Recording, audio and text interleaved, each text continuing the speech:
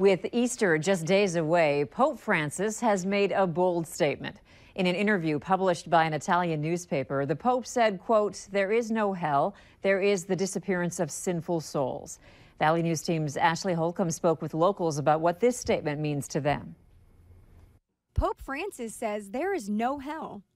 What do you think? To me personally, I don't think it affects me too much.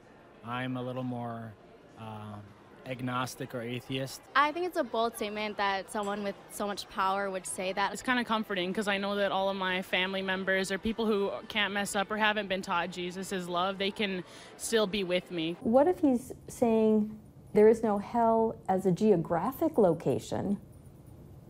But hell maybe is more an experience. Concordia College's religion department chair, Michelle Lelwica, says she isn't surprised by this statement from the Pope. I think that this Pope, just knowing what I know about him, is always trying to get Catholics in particular, but all people, to think deeper than these traditional religious ideas have sometimes allowed us to think. She says hell happens not only in the afterlife, but in this life as well.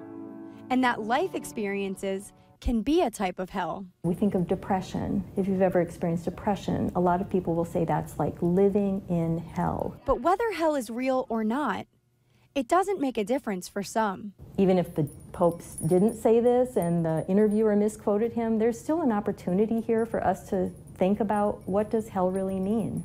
I think in the end, as long as I'm a good person, I think that's enough for me. In Fargo, Ashley Holcomb, Valley News Live.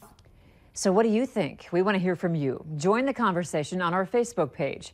You can search Valley News Live, like our page, and you can follow the latest news, weather, and breaking news updates anytime on your feed.